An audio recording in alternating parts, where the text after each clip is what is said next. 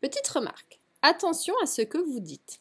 Si on dit 2x plus 1 au carré, faites une pause sur la vidéo, essayez de chercher tout seul et venez voir si vous avez juste. Qu'est-ce que ça va représenter Si on traduit, on me dit 2x plus 1 au carré. Donc en fait, le mot au carré, il est que pour le 1. C'est-à-dire que ça représenterait ceci. 2x plus seulement le 1 au carré. Si on dit 2x plus 1, le tout au carré, qu'est-ce que ça va représenter?